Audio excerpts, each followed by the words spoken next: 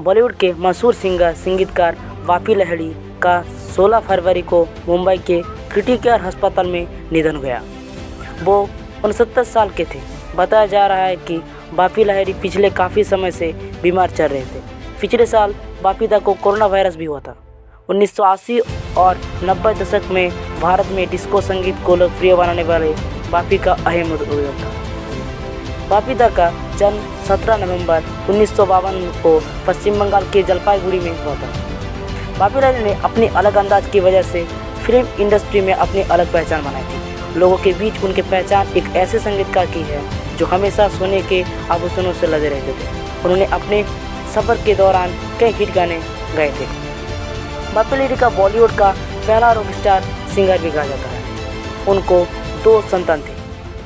बप्पी लहरी 1980 और 1990 के दशक में बरदत disco dancer, Namak Halaal Sharaabi dance dance, commando Saheb, gang leader, Sailaab जैसी फिल्मी साइड ट्रैक के साथ लोकप्रिय हुए थे।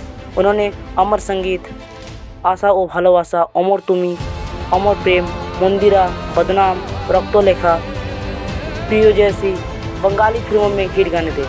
उनका आखिरी बॉलीवुड गाना ढंकस 2020 की फ़िल्म बागी थ्री के लिए था।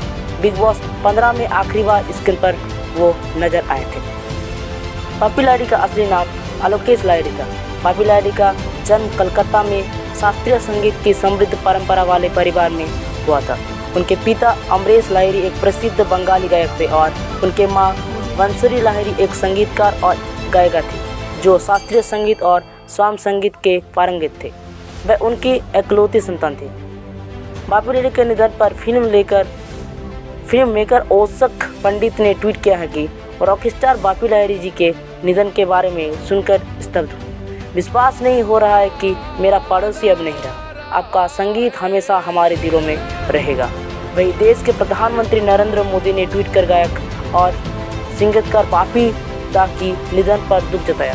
पीएम मोदी ने अपनी ट्वीट में लिखा बापी लहरी जी का संगीत सर्वांगीण था और विविध भावनाओं को खूबसूरती से व्यक्त करता था।